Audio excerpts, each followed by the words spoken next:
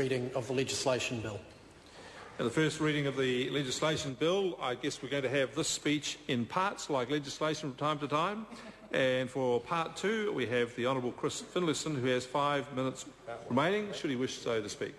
Oh, thank you, Mr Speaker. Indeed, I do. This is a very important issue of black letter law, and I'm excited uh, by, the, uh, by the legislation. But it'd be quite remiss of me on this red letter day for the Labour Party not to express my sympathy to the Labour Party for their ongoing problems. And I'm, I'm especially sorry for my good friend Trevor Mallard, who has today lost his special uh, buddy at pump class at uh, Bodyworks in Thorndon Quay, uh, Chris Carter. Uh, and, uh, but I won't be there for him because I no, Mr. Robertson, I won't be there because while Trevor does pump classes, I'm upstairs lifting the real tin. But uh, anyway, I digress, and we have important issues to concentrate on this afternoon. I'll challenge him any day. I doubt whether he could lift what I lift. Uh, the, uh, the Law Commission proposed that PCO. Oh, he's too busy sunning himself, which is why he looks like an orange. Uh, the Law Commission proposed that PCO should be given enhanced powers of editing when producing uh, reprints of statutes, and this recommendation is implemented in full. Very importantly, the Commission also recommended that there should be a systematic program of statute law revision. This is a process whereby an act is reenacted with all the amendments made to it over time incorporated in one single statute. And one of the concerns that's often expressed about New Zealand statute law is, is its inaccessibility, and that's what uh, one tries to address here. And under this bill, uh, attorneys general will be required to produce a program of statutes to be revised during each parliament.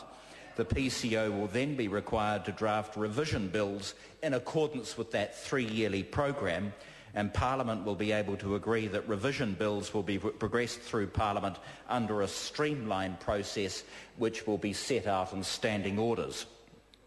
Part three of the bill deals with subordinate or secondary legislation. Importantly, it makes provision for disallowance. The categories of instrument that are subject to the disallowance process uh, have been revised and until now it hasn't always been easy to determine whether a delegated instrument was disallowable or not and this bill addresses that issue. Also in Part 3, the bill makes provision for incorporation of material into legislation by reference to another document. It's a drafting technique whereby a document is given legal effect by being referred to in secondary legislation without being copied out in full or redrafted in some way into the legislative instrument. And finally, Part 4 makes provision for the PCO by updating the provisions in the Statutes Drafting and Compilation Act 1920. The Commission recommended that PCO should no longer be an Office of Parliament, but that it should continue to be outside the core public service and it should remain under the Attorney's control.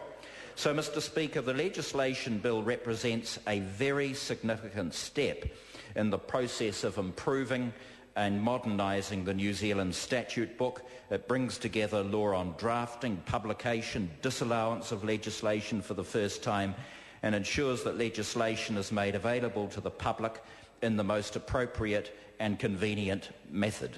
It preserves and enhances the powers of this House to scrutinise and challenge delegated legislation and importantly it preserves the independence of the Parliamentary Counsel Office which has done such an outstanding job for governments of all hues over many years to ensure that legislation is carefully drafted. Mr Speaker, I commend the bill to the House. The question is that the motion be agreed... Oh, sorry. Uh, uh, got the wrong... Yes, the question is the motion be agreed to. Uh, the Honourable David Parker. Uh, thank you, Mr Speaker. Um, Mr Tremaine